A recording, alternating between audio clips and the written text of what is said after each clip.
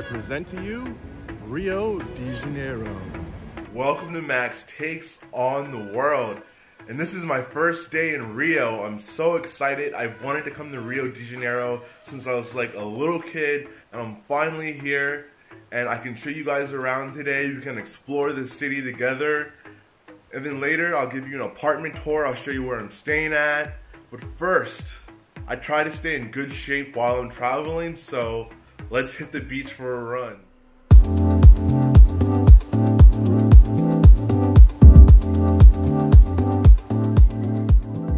I'm here at world famous Copacabana Beach, and it's a little bit cloudy out, but it's still gorgeous.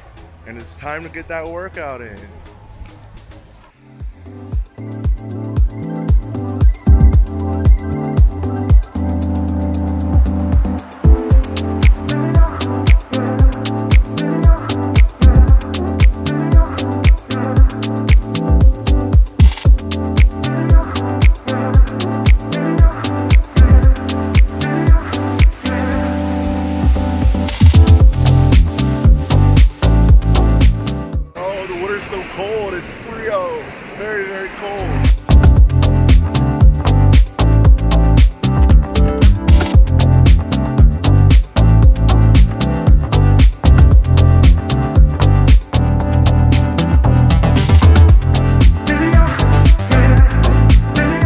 Workout. It's um, always good to get a workout in. Heading back to the place now, get ready to explore Rio a little bit more. But one thing I want to show you guys is uh, there's these favelas behind me. You can see these favelas up in the hills here. You know, uh, in America, the rich people live in the hills. Here in Brazil, it's the opposite. The, the lower class or poverty really lives in the hill hills, and the richer people live down here. I'll give you guys an apartment tour. We'll start here.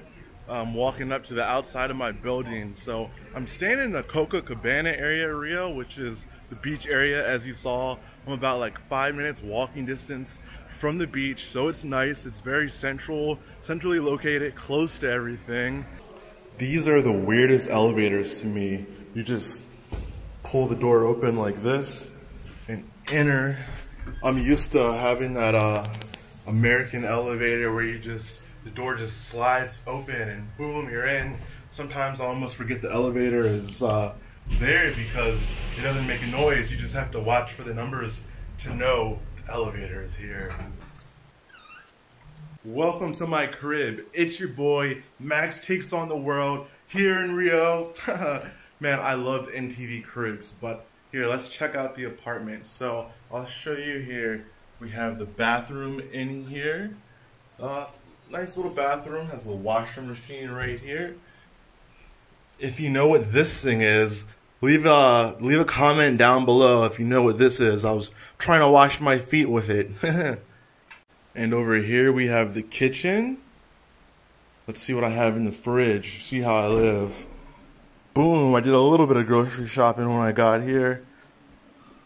Has microwave, blenders. This Airbnb, it's really good. It has uh, the basic necessities. have the TV here, which is in Portuguese, so I don't watch. We have my uh, my bed, and I'm really in love with these mirrors. Like such good lighting in here too, and uh, my closet space right over here. Here, I don't think I'll ever eat here, but this looks like you know a little kitchen table. And last but not least, we have my workspace over here. And yeah, this is how I'm living in Rio for the next couple of uh, weeks. I guess, yeah, I'll be here a month. And I have a travel series planned out. I'm excited to show you guys. I'm going to be going to favela. I have a lot of stuff planned. So make sure you hit that subscribe button. I'd really appreciate your support. Now it's time to get changed and see the rest of Rio. I'm ready for Sugarloaf Mountain. It's one of the, like the top attractions here in Rio. I hear there's monkeys on the hike up there, so so I got some bananas to you know see if I can feed a monkey. Hopefully I can and it won't attack me. Pray for me, guys. This is where we're hiking to this mountain up here, and then we're gonna take a cable car to Sugarloaf Mountain right here. I have a tip. They say that you shouldn't hike alone in Rio, but Sugarloaf Mountain is in a military area, so it's safe to walk alone here. But most hikes in Rio, you probably don't want to walk alone just for safety reasons.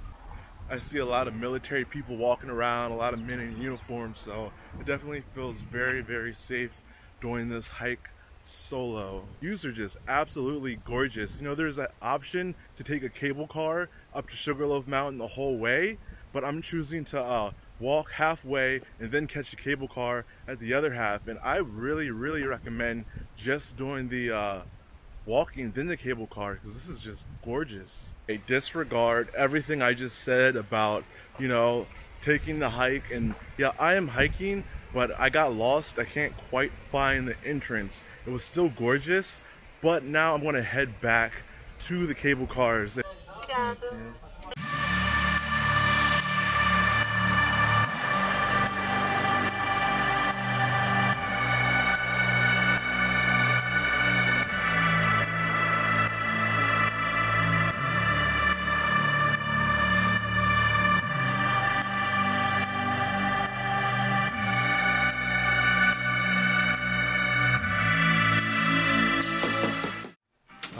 A spontaneous tattoo. I haven't gotten a tattoo in a while, but I'm in Rio. This is Christ the Redeemer, which is a, a very famous statue here, not even just here, just worldwide. And I'm a Christian, so it just makes sense.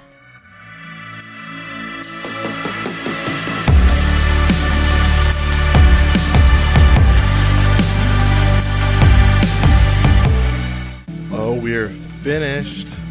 Look at that. Ladies and gentlemen, I give you Christ, the Redeemer. Tattoo stop real quick. We still have to catch the second trolley to go to the top of Sugarloaf Mountain. But first, let's take in these views.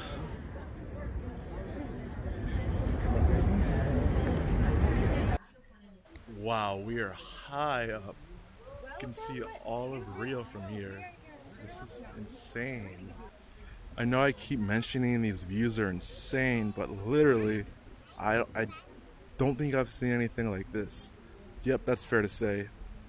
Sugarloaf Mountain is one of the most incredible things I've seen in my life. I said that, and that is a fact. But Sugarloaf Mountain, it was real. I feel like I'm definitely gonna come back and visit this while I'm here in Rio. Today was a little bit cloudy, so I got to see the views, but I could only imagine it on a clear day it was uh, cloudy today, but on a clear day, it has to be even more gorgeous. So I want to come back.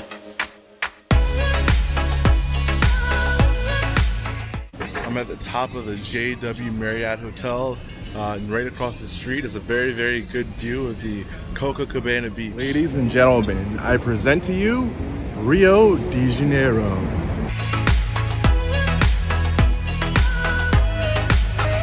Hey, it's been such a long day. We did a lot today. Um, this is just the beginning. I have a whole month here in Rio, so make sure you hit that subscribe button if you haven't already. I have so much more content coming out. As you could see how gorgeous Rio is, all we saw was views today. So smash that like button, click that subscribe button, and until next time, fight on.